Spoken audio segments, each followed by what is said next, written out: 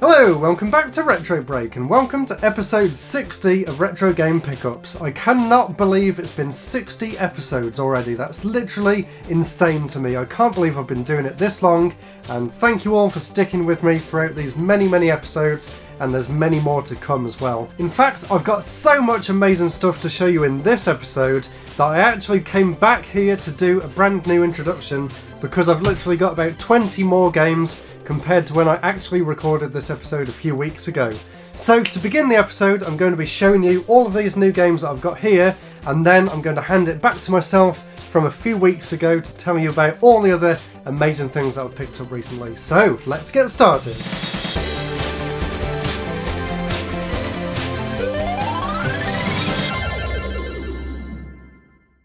So, I'm sure a lot of you saw recently my video on the DS. Well, of course, I wanted to do a follow-up to that on the 3DS, but it turns out that I've got a lot less 3DS games than I have DS games. So, over the past few weeks, I've gone a little bit 3DS mad. Look at all these new 3DS games that I've got. So, I'm just going to quickly go through them all, starting with the first one here, which is Picross 3D Round 2.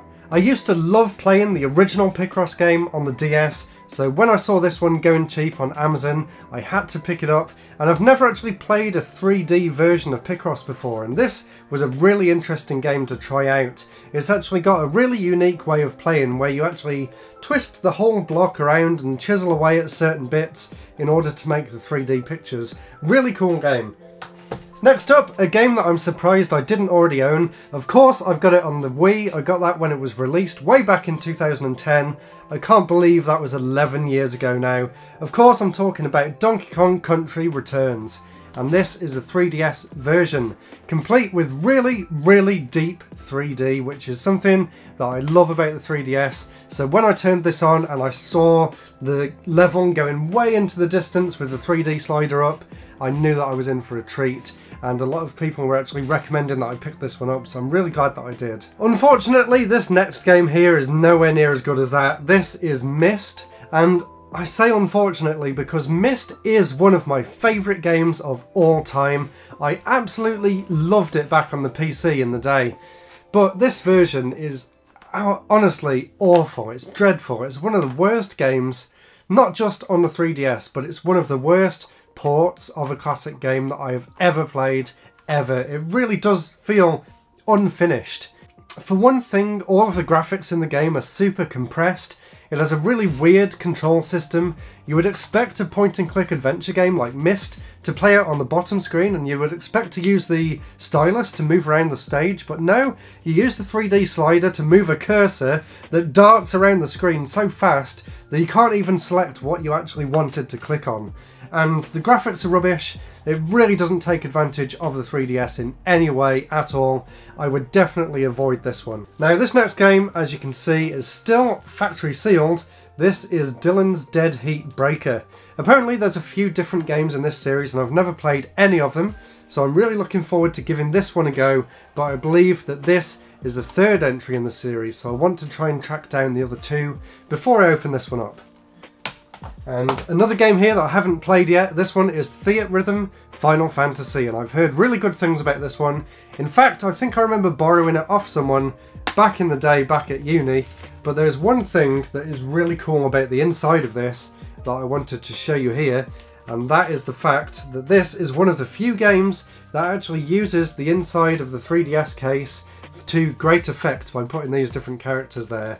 As you can see, if I slide this up, it's actually printed so that when it goes down like that, the character's portraits appear within these little cutout bits of plastic on the inside.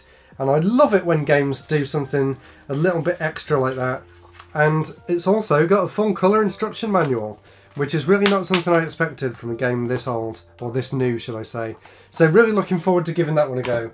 Now next, another game that I haven't opened up yet, this is Sushi Striker Way of the Sushido. And I remember when this came out a few years ago, people were really upset that it was like £35 for what is basically a little flash game on a 3DS or on a Switch. This game came out on both systems. But I'm very happy to say that I picked this up for around a fiver maybe, so even if I don't get around to playing it for a while, you can't really go wrong for that. And it is a first party Nintendo game as well, which to get one for that price is kind of rare. Now, these next two games, I picked both of these up recently to finish off my handheld Tetris collection. I've almost got all of them now. There's one really hard to get Tetris game for a handheld, and that is Tetris for the WonderSwan, which is generally over £100 now, which is ridiculous. But I managed to get both of these very cheap, and they're both good in their own rights. They are Tetris Ultimate, which is by Ubisoft, I believe, and there is this other one, which is just by Tetris Online, which is simply called Tetris. And the thing I love about this one is the fact that it uses the Mii's, but the Mii's are just crazy, over hyper reactive about everything that's going on. I thought it was so funny. You basically start the stage and it's just me wearing a Tetris hat and just dancing like crazy with all the music in the background and the cityscape and stuff. This one, on the other hand, is a lot more plain and simple, and there is a Vita version of this game as well, but I would definitely recommend this one that's simply called Tetris, if just for that crazy me dancing around. I thought that was so funny. Now, this next game here, this is part of a series that I've finally got every game for. I actually got the last game in the series. I may as well show this now as well. This is Umihara Kawase Fresh for the Switch, and Umihara Sayonara Umihara Kawase, let me get my words straight, for the 3DS. And these are the latest two games in the series. And this 3DS one, uh, unfortunately this is the Japanese version, so while I can't actually play this, I actually just bought this for the collection, I did actually go on the eShop and download the English version of the game, which actually set me back another 20 quid because this one was full price, but there you go, so I've kind of got it twice. I have it on the 3DS, well, on the 2DS, and physically, I've got the Japanese version there. And like I said, I just picked up the Switch version as well. And the thing I really like about this, it's actually in the Switch at the minute, but on the back of the box you've actually got a map of the main area, which I thought was really cool. And surprisingly, for a Switch game, I was not expecting this one bit. Like Theatrhythm, a full colour instruction manual. That's just amazing. So uh, Nicalis did a fantastic job with that, and unfortunately, I did order the special edition of this game off the Nicalis online store, but because of COVID and because of all the restrictions with postage and stuff, that version is still on its way here. But I'm trying to do a video on the series, so I picked this standard edition up on Amazon, and when I do get the special edition, hopefully in a few weeks' time, hopefully before I actually upload the video. I'm going to be giving this one away as a giveaway, as a prize, to someone who watches the retrospective that I'll be putting up in a few weeks time hopefully. So if you want to actually win this copy of the game here for yourselves, look out in a few weeks time. I'll put it in the community tab here on YouTube, I'll announce it on Twitter and stuff and maybe you can win this in the future. And moving on to another Umihara Kawase game before I come back to the DS ones.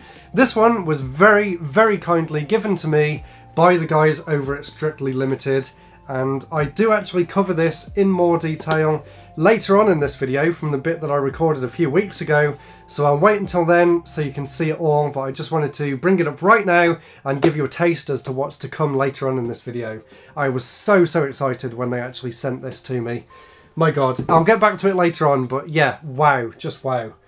Right, what else have I got here? There's a few games that I got from Argos not too long ago, so I'll quickly go through all these now. They are Yokai Watch 2, uh, both versions, so we got Fleshy Souls and we got Bony Spirits. I haven't played either of these yet. I also did get the first one, but I have no idea where it is. And the other two games that I got from there, unfortunately, Federation Force, and I have given it a little bit of a go, and I can see why people don't like it. It just seems really basic, really generic, and not the Metroid game that anyone wanted. I know people were very disappointed back in the day. And another game that I was actually quite surprised that this is actually a lot better than I thought it would be. This is Sonic Boom Shattered Crystal. And I know there's one more for the 3DS, and if it's anywhere as good as this one, I will be pleasantly surprised. So I am going to try and pick the sequel up to that uh, very soon as well. We also have here Need for Speed The Run. I don't really see that many racing games on the 3DS, so when I came across this one in CeX a few weeks ago, before lockdown started back up, obviously, I picked this one up and it's pretty good, it's okay. Right, this next one, this is a great game. This is Sega Classics Collection 3D, and the 3D in this is actually mind-blowing. M2, the people who did the um, emulation for this game, did such an incredible job with porting over their arcade games and some Mega Drive games onto this collection in full 3D. It really is a sight to behold and it's such a shame that I can't actually show how that looks on video, but I tried to record a bit of it using red and blue 3D. So if you do for some reason have any of those old red and blue 3D glasses, you can actually see the footage that I captured for this in full 3D, which I think is quite funny. We also have here this is one that was quite expensive, but I had heard really good things about, so I just had to pick it up when I saw it on CeX's website. This is Etrian Odyssey Untold, The Millennium Girl, and from what I've played so far, it's really good. I'm about five hours in now, I've been playing it in the evenings after I've finished work and stuff, and I've been quite enjoying it, yeah, so that is um, Etrian Odyssey Untold, and apparently this one's a remake of the first game that came out on the DS, which I also haven't played, so this was brand new to me. And I am looking to get the other Etrian Odyssey games for the 3DS. I know there's a Mystery Dungeon one that's really cheap, and then I think there's four of the games in this series that are also out on that system. So I'll definitely try and get them at some point. I've also got the 3DS version of Super Mario Maker, and this one's really cool because it's got a load of single player levels built in. They're all based on the different Mario themes. And it's kind of trippy playing the new Super Mario Bros. U style on the 3DS. I never thought that would be something that I would see. Unfortunately though, there's a weird thing about this game and that's the fact that you couldn't upload your own stages onto the online side of it. You could only do that from the Wii U, which I always thought was a bit weird, and I'm sure that put a lot of people off playing it back in the day. But if I suppose if you didn't have a Wii U and you only had a 3DS, this was a really nice backup, and I just love the yellow case that it came in as well. Unfortunately, no full colour instruction manual for this one. So I've got four more 3DS games here. We have Ever Oasis, which is one that I'd always heard really good things about, and I'm so glad that I finally got my own copy. This was made by Grezzo, and it's a completely original game. Grezzo, if you don't recognise that name, are the people that made the remakes of Ocarina of Time and Majora's Mask for the 3DS. So they definitely had a really good pedigree behind them when they went into making this, and you can tell they knew exactly what they were doing with the system. This honestly has some of the best graphics that I've seen on the 3DS overall. It really is a good looking game. I haven't got that far into it though, but I do plan on going back to it. We've also got Fire Emblem Shadows of Valentia Echoes, or Fire Emblem Echoes Shadows of Valentia. This one is a remake of Fire Emblem Gaiden for the NES or the Famicom. I've actually really been enjoying this. I'm not usually the biggest fan of Fire Emblem games, but this one really sucked me in. I've actually been really enjoying this over the past few weeks, playing it in the evenings, and I would definitely recommend it. And it's quite beginner friendly as well, because I don't class myself as an expert in any of the Fire Emblem games. So when I got this and I really easily got into it, I would highly recommend it if you're just starting out on Fire Emblem. And the last two here, Virtue's Last Reward. I haven't started playing this one yet, but I was a huge fan of 999 on the DS when that came out. Years and years ago, I imported it from America, and I'm really glad to get the sequel. Apparently, there's another one on the 3DS as well, so I'll try and track that down. And the last one here, this one was recommended to me on Twitter. This is James James Noir's Hollywood Crimes 3D. And this is kind of a Professor Layton style game. It's not what I was expecting. I was actually expecting something along the lines of a hidden mysteries like search the room out and find the clue sort of thing. And I love the fact that they also included some old FMV style sequences as well, which was really cool to see. So wow, that was a lot of 3DS games. Now, like I said, I've actually recorded a lot more than what you've seen right now. Before we move on to the second half of this video, I have one more game that I wanted to mention, and that is this game here by Ethan Fox called Nina Aquila Legal Eagle.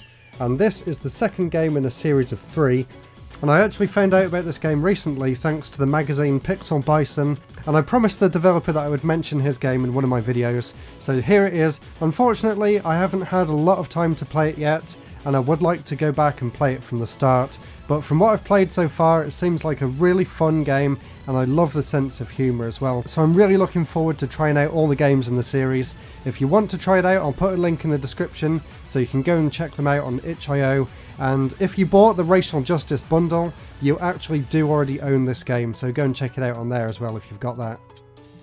So now I'm going to pass myself back to myself from a few weeks ago to show you all the other things that I picked up recently. I really hope you enjoyed watching so far and please subscribe if you did enjoy it. I'm well on my way to 10,000 subscribers now and that's simply unbelievable. Now on with the second half of the video. We've got some retro stuff, we've got some modern stuff, I've got the PS5 to talk about. There's just so much to get into in this episode. But before we do, I just wanted to say a huge thank you to all of my new Patreon supporters and all of my new subscribers. It's really great to see so many new people on the channel in general. So a big hello to everyone and now let's take a look at what I picked up in the past few months. So we're going to start the episode off here with something really interesting that you can't actually see yet.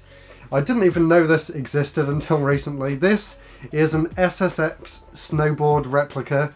It's a plug and play TV game console thing. So it comes with this and you basically hold this in your hand and there's some buttons there there's an enter button there's an on and off switch and it takes I think four AA batteries and it's a really basic version of SSX. I'll try and get this hooked up in a bit to get some footage. The main reason I got this is because I'm planning on doing a series retrospective on all the SSX games and so when I found out this existed I just couldn't pass it up. And apparently there's three other versions of this by the same company and they all look more or less the same but this one's got the SSX branding so I'm really really looking forward to giving it a go. I haven't actually given it a go yet but if I do before this video goes live I'll put some footage over here now so you can see what it's like. Unfortunately as you can see here it didn't actually work at all. I think the battery compartment was a little bit corroded so I'm going to try and find a plug and see if that fixes it. So fingers crossed I can still show it off in the retrospective. But definitely stay subscribed because at some point next year I am going to be looking into all of the SSX games in detail. It is taking a while to do because I want to play through every single one of the games and give you my fair impressions of all of them.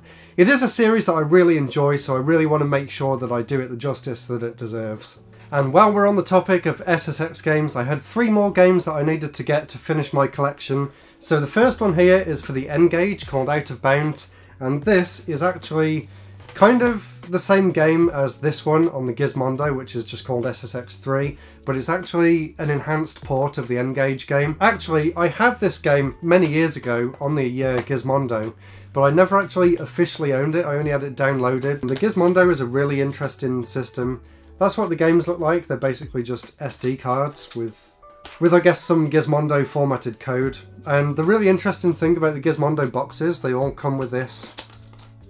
They all come with this little Gizmondo case. So if you were one of the weird kids that had more than one Gizmondo game like I was, you could put your games in that case there and uh, take them around with you. And that is something that I used to do with the Gizmondo, believe it or not. I did actually believe in the system, even though it was doomed for failure since the very beginning. And like I said, the same game came out on the N-Gage, but it's a little bit worse than the Gizmondo one. It's a bit slower. Um, it's actually in the N-Gage at the minute. And the interesting thing, just like the Gizmondo, the N-Gage actually had one of these cases that came with it as well. I guess that was just a thing that the game developers were trying to do at the time. So it's really interesting, and I'm definitely looking forward to playing them both for my upcoming SSX video. And the last SSX game here, I have it on the PS3, but I don't have it on the 360 until now. This is the rebooted SSX game. I wasn't a huge fan of it, but I am going to give it another go for my retrospective, so I'm looking forward to jumping back in. And the reason I got this one is because it's actually backwards compatible on the Xbox One X, and you can actually play it in 4K, so I'm really looking forward to giving it a go in the resolution that really will benefit the game, I think. So I'm really looking forward to that.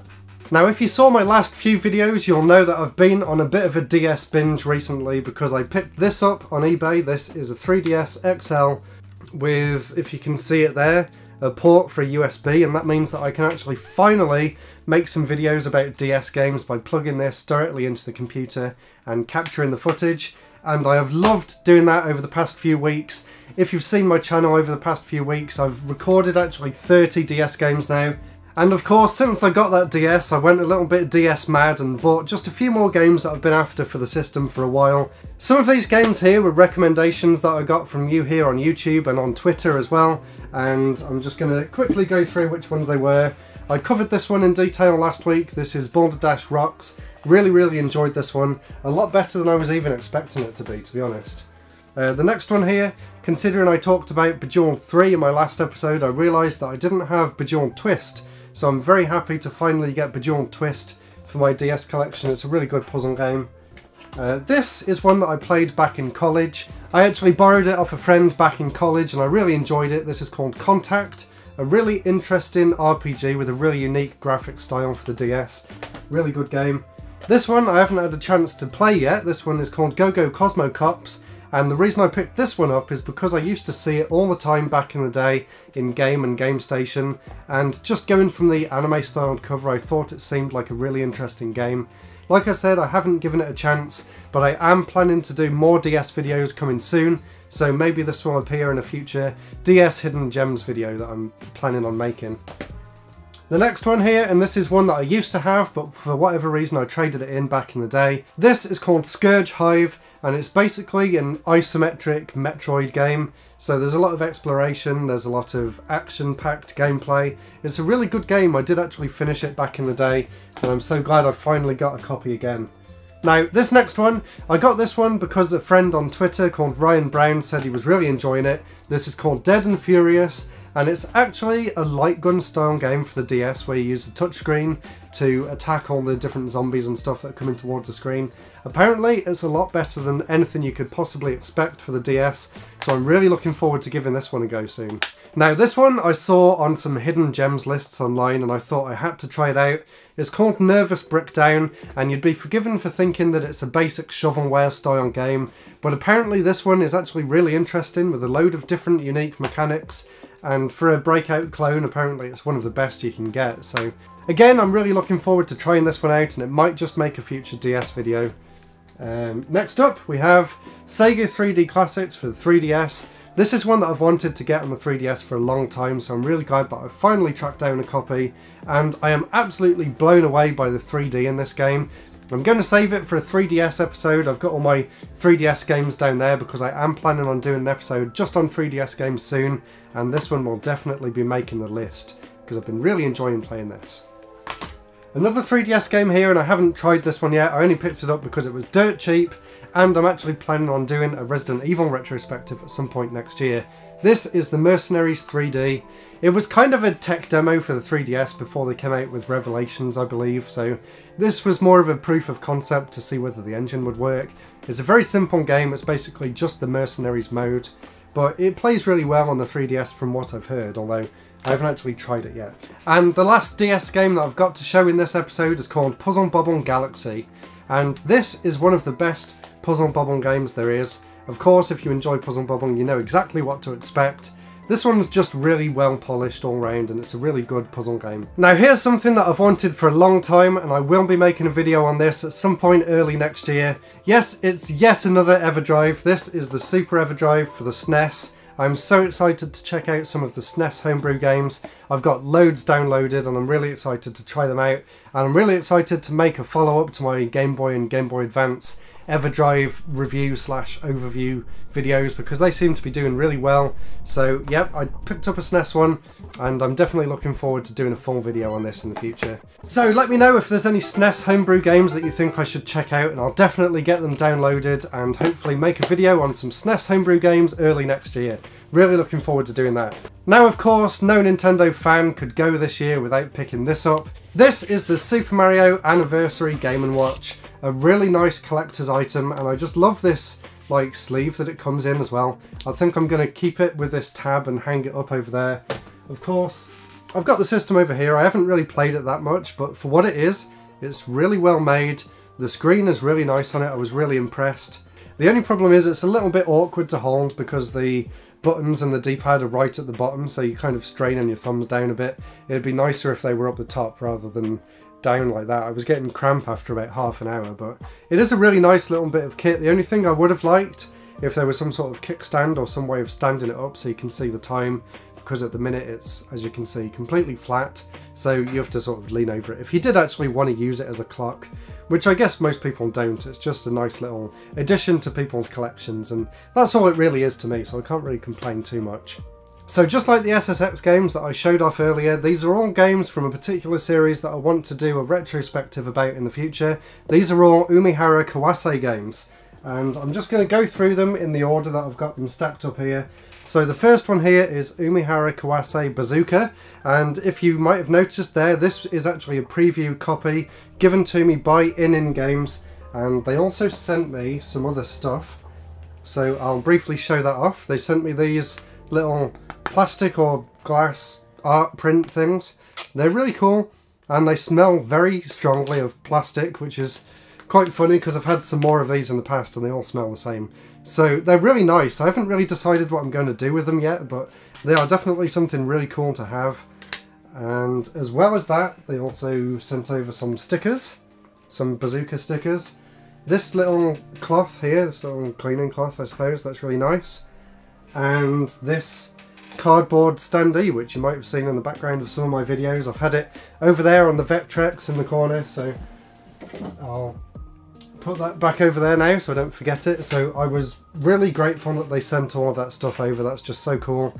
I don't have the other game for the Switch just yet. I've actually ordered it from the Nicalis store in America so that I can get the one with the Super Famicom box and it's taken a while to turn up so I don't have that just yet but that's the last game that I need to finish my collection and then I can finally start doing my retrospective on the series. Um, what other ones have I got here? I've got the DS version, which I actually mentioned in my top 15 DS games. This is probably the best Umihara Kawase game there is. I won't go into too much detail about all the games now because I don't want to ruin that video that's coming soon. And there's two more that I got here. I got these two off the Japanese auction site, uh, Yahoo Auctions through Buyee. Uh, these are Umihara Kawase Shun and second edition, which came out a few years later. This one's a second edition. That one was really hard to find, so I'm really glad I managed to get both of them. And there's also the PSP version, which isn't as good as the others, really. And the last one I wanted to show off, and this I have to give a huge thank you to Strictly Limited Games for actually sending me this. I was going to try and buy it, but obviously they're all out of stock now, and I just asked them, I didn't want to pay crazy amounts of money on eBay, so they were incredibly kind and sent this over to me, and I cannot thank them enough. So along with the game here, which is a really good game, in fact I've actually got a different game in there because it's actually in the Vita itself, they also sent me over this really nice collector's edition, which comes with loads of really cool stuff. So there's a nice little sketch there. I'll do some close-ups of all of this. There's a postcard, a big fold-out poster. So there's a really nice one there of like a winter jacket version. And then there's the summer bikini version on the back as well. So really cool to have that. There's also a soundtrack CD in there. There's an art book and it's also really interesting because it's also got uh, sort of interviews with the developers behind the games and some of the behind the scenes stuff. So I'll definitely be using some of the information from this for the video that I'm working on. I did really enjoy reading through that. There's also a sticker sheet in there, although I'm kind of scared of using these stickers so I'm just going to keep them in this. And something else that's really cool, there's actually a replica SNES cartridge for Umihara Kawase Plus Plus, which is the Vita version.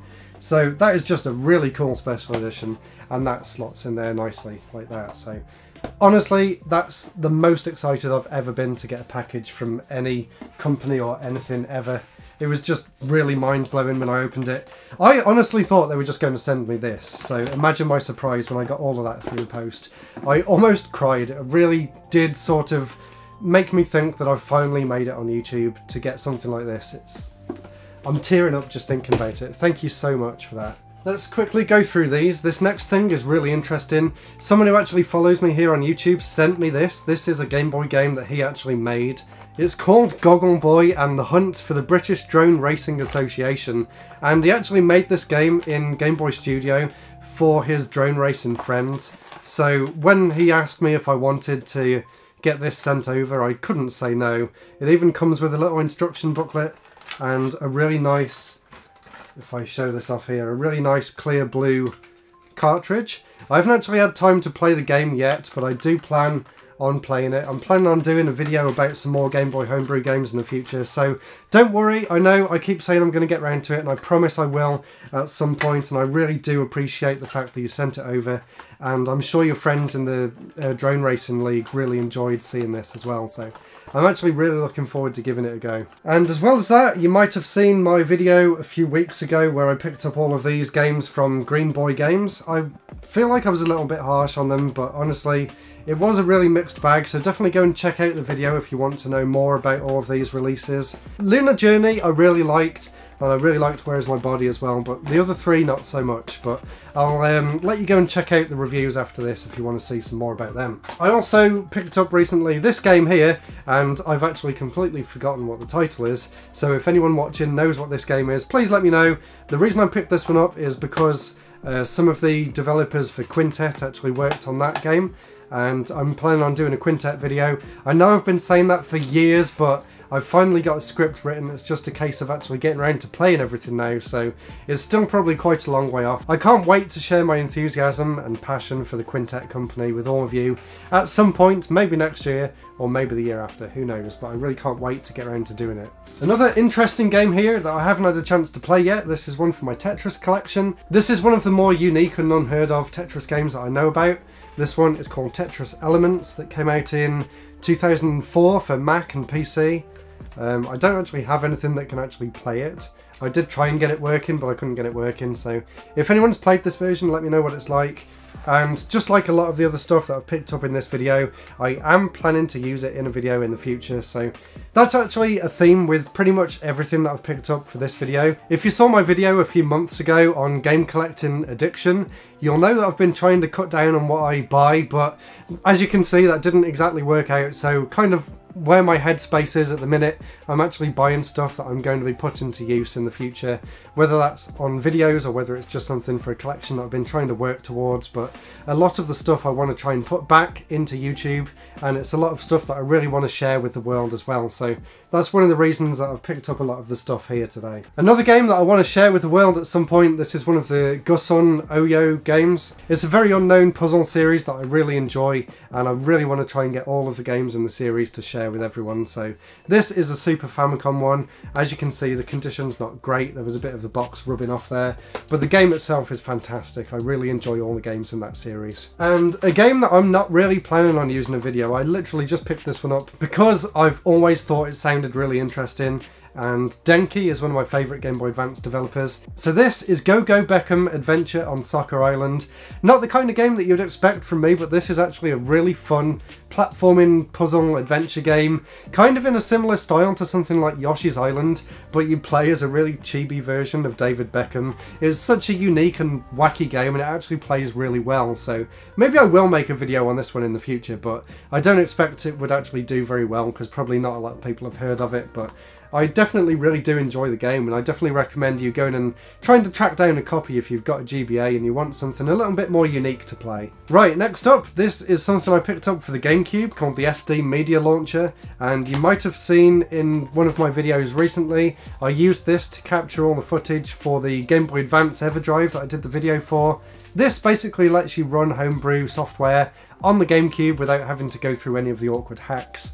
It's basically just a, a memory card that you put an SD card into and you put a disc into the GameCube and then you can load up any sort of fan-made stuff. It's a really simple way of doing it and I was really surprised to find out that you can actually still buy this brand new on Datel's website. And that's how I got this one and it works really well. It's pretty much seamless and I definitely recommend it if you want a better way of playing GBA games rather than just using the Game Boy player that comes with it. Now you've probably been wondering what this box back here has been and this is something else that turned up the other day that I had no idea was actually coming.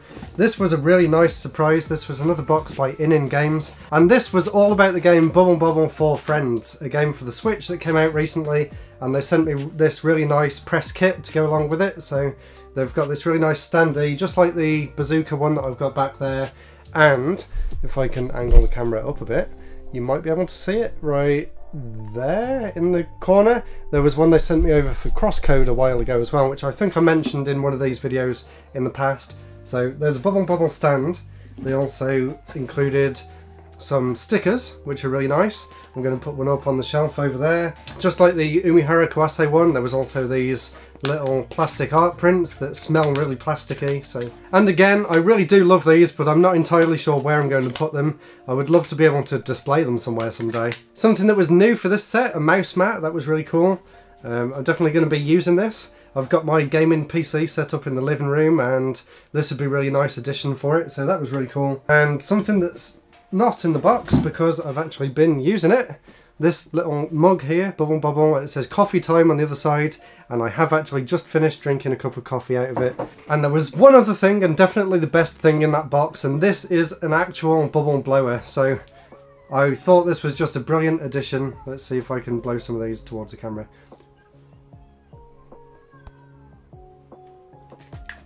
One of them just popped in my eye. That wasn't a good idea. But yeah, I thought that was a really cool little addition to the package. So once again, thank you so much ININ Games. I really do love all of these like collector's edition press kit things that you're sending over. Keep them coming, and I really do love all of the games that they're putting out as well.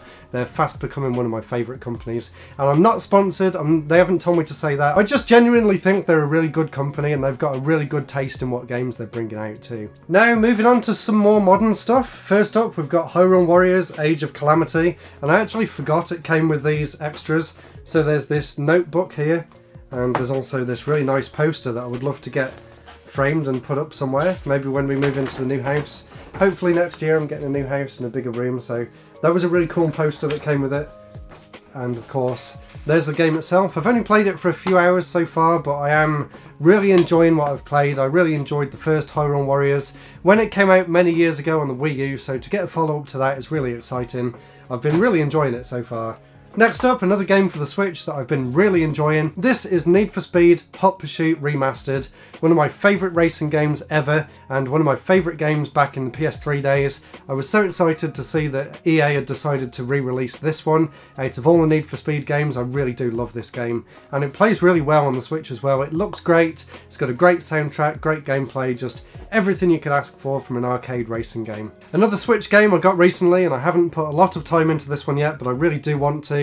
This is Ys Origins, a game that I've wanted to play for a long time. I'm a big fan of the Ys series, but this is one that's always passed me up, so when I found out that it was getting a physical release, I was very excited to get this one and it's in my Switch Lite at the minute and I've played it for a few hours so far and just like Hyrule Warriors I'm really enjoying what I've played. And for the PS4 here, this one I'm borrowing off a friend at the moment. This is Persona 5 Royal and again I'm really enjoying it. I'm about 20 hours in now. I've been struggling for time recently to try and play it, but I am getting through it very slowly, and I do see why it gets so much hype. It's a really good game, and it's really weird that they're not releasing it on the Switch. I don't really understand that. Considering Joker's in Smash and the sequels coming out on the Switch, I don't know why they can't port it. I mean, it was a PS3 game originally, so it would definitely run on it. And talking about PlayStation, let's move on to the PlayStation 5. I picked this game up yesterday actually. It's not one of the games I got at launch. I've actually been playing a lot of Demon's Souls and I really enjoy that. I'm only on the second area and it is really difficult. It's the first proper Soul games that I've put a lot of time into and I'm really enjoying it. I also love what they've done with the controller for the PS5. The adaptive triggers are just really, really cool, and it's something something that I've never really felt in a game before, and it really does add a lot.